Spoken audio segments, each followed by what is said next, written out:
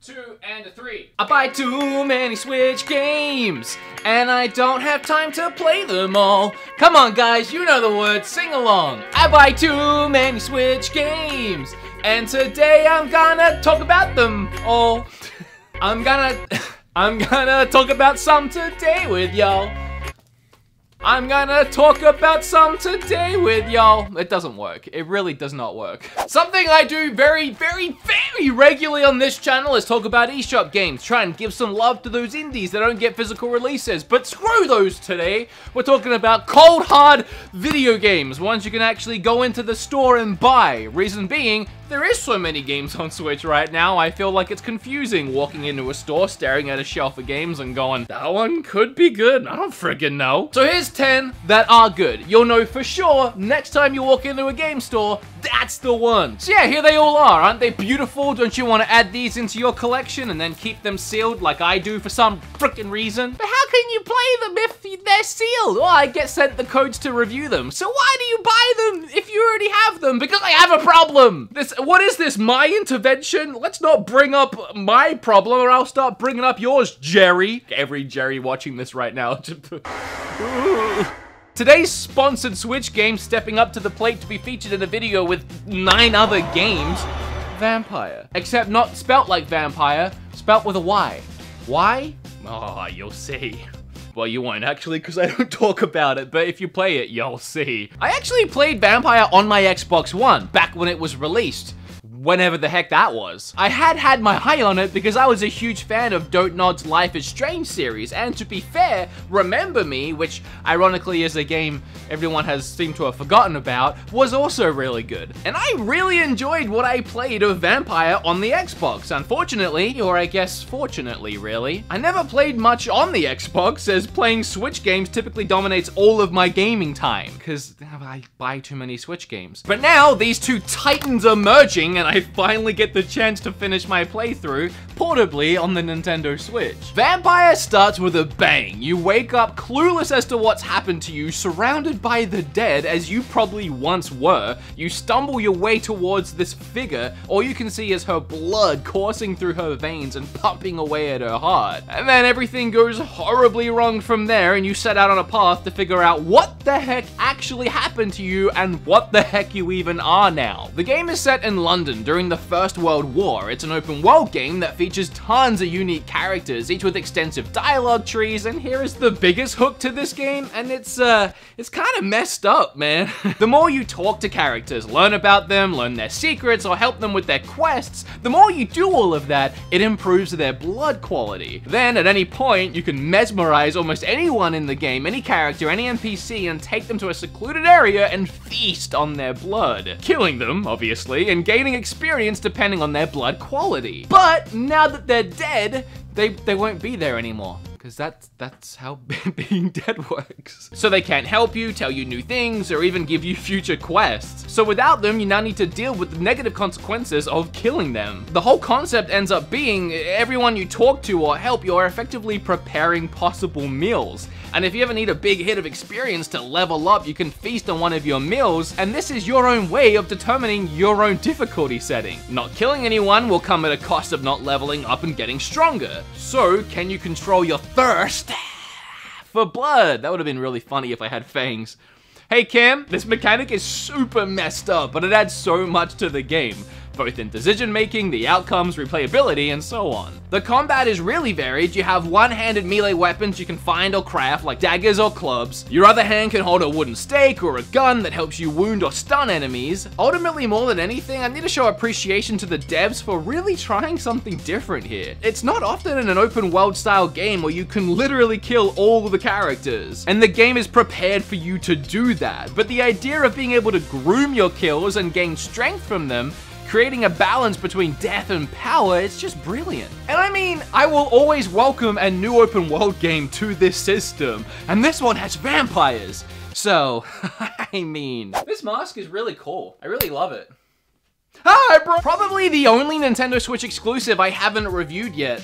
Marvel Ultimate Alliance 3. It was released a few months ago now. It took me forever to actually play it, and by the time I did, the hype for the game of any kind had already died down. And here we are months later, and already no one's talking about this game anymore. So I won't either.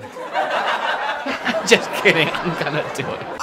A love-hate relationship with the previous two games in this franchise. They were pretty bare-bones basic beat-em-up video games. The fun was purely drawn from the amount of Marvel characters you could play as and imagining a world where they all came together and interacted in the weirdest of mix-ups imaginable. You gotta remember, this was before the Marvel movies, so this was a dream come true for a comic book nerd like myself. Not this one, the previous two. Y you know what I'm talking about. But the gameplay was average, having to traverse linear paths, hallways, and still rooms, and smash one or two attack buttons on repeat with a boss battle at the end and then a cutscene. The most fun I had in these games was playing them with friends at sleepovers with Mountain Dew between my legs and a pack of Doritos stuffed under my arm. I miss those days. Seeing the third game announced blew my freaking mind as it was a series of games I assumed was long dead and a Nintendo Switch exclusive of all things. I was very curious to see how they would shake up the formula to make the third game feel fresh. And uh, they, they didn't at all. It's the exact same game. But with a shiny new coat of paint, arguably better heroes this time around, and overall a much better polished adventure. Don't get me wrong, this is the best game in the series for sure, and for fans fans of Marvel, either the comic books or the movies, there is so much fun to be had here. The combat's still pretty basic, but all the levels are so fast paced and short enough that they don't really drag on. The cutscenes are the most improved thing about the game. They feel like they're straight out of the Marvel movies, maybe with a more cartoon TV show feel about it. The story is actually interesting this time, while still kind of forgettable. And what I love the most is that characters like Guardians of the Galaxy feel like their movie counterparts, while characters like Wolverine are straight out the comic books. And then Spider-Man is voiced by the same guy who voiced the PlayStation 4 Spider-Man game. So it feels like that specific Spider-Man has joined the roster. So this really is the ultimate Marvel crossover. Move over Endgame. Ah, I tried to catch that because I regretted throwing it. Next, if I was Spider-Man with Spidey uh, reflex Spidey sense tingling, I would have caught it. Guess I just proved that I'm not Spider-Man. I'm Wolverine, baby. Uh, this one's next. Mutant Year Zero. What do you What do you want from me? Better introduction? Please. In Mutant Year Zero, you play as a Duckman thing and a Pigman thing. That's all the time I have, guys. All right, see ya. Bye. Love you. As the title would suggest, they're probably mutants. And not the cool ones, like in the Marvel Ultimate game we just talked about. Nah, the ugly kind of mutants, like your mama. Sorry. What this game does best is splice up the tactical turn-based combat genre that I love with exploration and adventure, allowing you to explore a world around the fights, and in the case of Mutant Year Zero, struggle for survival as you search the world for scrap to trade or enemies to get the jump on. I really enjoyed the excellent voice acting throughout the game. Everything about Mutant Year feels like I'm playing AMC's The Walking Dead come to life, but with no zombies and instead a duck man. Quack. What I love the absolute most in this game is stumbling upon a group of enemies and the choices between sneaking past them or silently taking out as many as you can or finding a good vantage point before ambushing them and triggering combat. Typically in these kind of games you have your starting position thrust upon you when the battle begins and you kind of just have to work with that. The enemies will typically react the same way at the start of each battle and it never really feels organic. But Mutant Year gives you the option of starting the battles your way. But to counteract that freedom, you better not screw up or leave yourself open. It won't treat you as a bullet sponge. If you get shot, you're going down. So use that freedom to your advantage and figure out the best strategies to stay alive. And once you pull that trigger to initiate a fight, yeah, you better be ready for it. This game is brutally tough, which does make the victories that much more rewarding, but it also makes restarting a battle for the 20th time that much more frustrating. Uh, Next, we have Kill la Kill, the game. If? I'm not sure if it's if or IF. I think it's IF, but it, it looks like if. So I gotta be honest, I've never heard of Kill la Kill before this game was released, and I still haven't watched the anime. That's a lie, actually. I wrote this before last night, and last night Kim and I sat down and watched the first two episodes pretty, it's pretty good. I decided to pick it up and play it regardless of not having seen the anime before for two reasons. One, I actually really enjoyed My Hero's One's Justice, a fighter done in this same style based on the My Hero Academia anime. And the other reason was that it had a shiny little label down here for Arc System Works, the same developer that made Dragon Ball FighterZ, another anime-based fighter that was freaking awesome. Now, I didn't realize at that time that Arc had only published Kill la Kill, where they actually developed Dragon Ball FighterZ.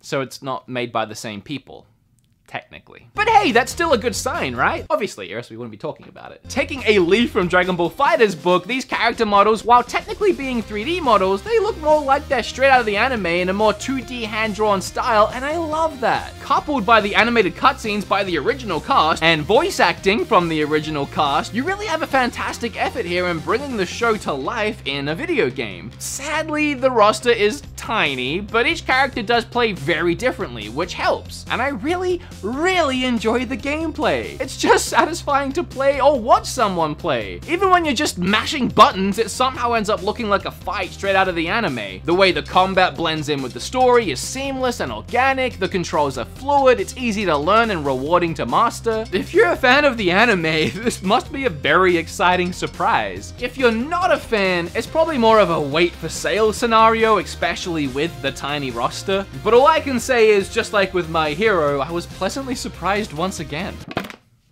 Ugh. Whew. I honestly love all of the games on this list today, and as I sat down to write this video, the words of which you can see here, and if there was ever a game to slightly breeze over, it's probably one that we all already know is near perfection. Ni no Kuni. Speaking of animes come to life, Ni no Kuni's artwork was greatly inspired by Studio Ghibli, and the animated sequences were in fact produced by Studio Ghibli. These cutscenes are wonderful, magical, and just so wholesome. Ni no Kuni honestly feels right at home on the Switch. There are elements to it that even feel like Pokemon, such as collecting these adorable familiars which help fight for you. There's quite a bit going on here with the gameplay between controlling both yourself and your familiars in combat. I haven't really played an RPG quite like this one. It's so fresh and original even now in 2019. Easily a must-play game. Not even a must-play RPG, which it is. It's just a must-play game in general. One thing to look out for is at the same time this game released on Switch, a remastered version released on PlayStation 4. This is not the remastered version. It's just a straight port from PlayStation 3. Nothing's been upgraded or made to look better or be different. It's just portable now. And I personally have no issue with that. Of course, it's kind of a catch-22 thing. But considering this game still looks fantastic on the Switch, and you can take a portable, that's a huge advantage over improved visuals overall. But I mean, that's just my opinion, and who cares about that? I mean, I don't like Xenoblade 2, so... that felt great! Knocking out a game that quickly? Where else can I shave off some minutes on this video? Ah, I know. How about these three games? Forager, Wargroove, and Enter the Gungeon. Let's just do them all at once. Why not? As you guys know, one of my favorite things to do is scour the eShop looking for little hidden gems and highlighting them in videos just like this one. And you can watch those videos right here. It's like a whole playlist of them. 18 now. Yeah, boy. And sometimes games from those lists end up getting physical releases months later, typically if they end up selling pretty well, which I, I, would like to think that we all played a part in making happen, even though it's a thankless job. No one's ever thanked me for one of their games selling well. I mean, did they thank you guys?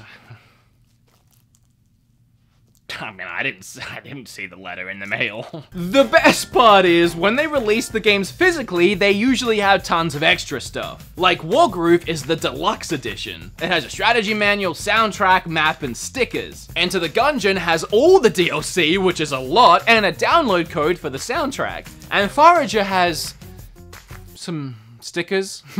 and a poster, to be fair. And maybe there's a video to be made on some of these little indie gems that end up getting physical releases once I've already talked about them, but for now, here's these three. Three brilliant games that if you saw me review these, but you don't like buying digital-only games and thought, dang it, even if they had a freaking physical, dang it, if only it had a physical release. Well, yeah, now they do.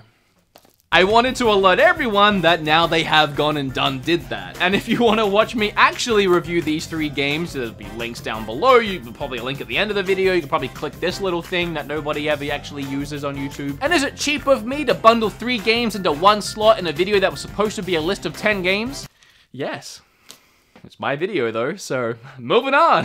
Killer Queen Black has been a confusing ride for me. I had never heard of this game before, and then like, what, a, a, year ago, two maybe? It was announced for Switch, and many people cried out in glee. Finally, they said, finally Killer Queen's coming to Switch. I, I, I just didn't I didn't get it. Is this like a Mandela effect? Am I from a reality where this game wasn't actually a thing? Super confused, I watched all the trailers and some gameplay, and now I'm the last person to judge a book by its cover, but I, but, but, but, but I just didn't see it. I, I didn't get it. Months, years, decades went by, and now it's finally dropped on Switch with a physical version to boot. And it's good.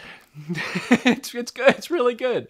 I mean, personally, I, I still don't totally get it, but it's insanely fun. Eight-player competitive online multiplayer aspect alone is well worth checking out. The matches are played on a single screen. You can win by either achieving economic, military, or snail victory. The workers can gather berries for an economic victory, or ride a snail to the finish line, or you can kill the enemy queen three times and win that way. You can also power up your workers to become fighters to help take down the queen, but then the workers can't help gather berries or ride the snail. So that's where a load of strategy comes into play, and each match ends up feeling completely different. Visually, this game reminds me of a lot of games I used to play way back when on my MS-DOS, like Commander Keen, and while I love that game, that's not a comparison any video game wants, I don't think.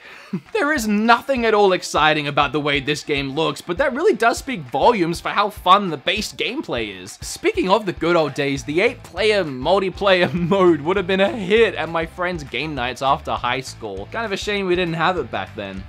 Ah, too late now. For me, not for you. You might have your whole life ahead of you. I'm old. I'm, my back hurts. I'm 29. One foot in the grave. It's all over for me now.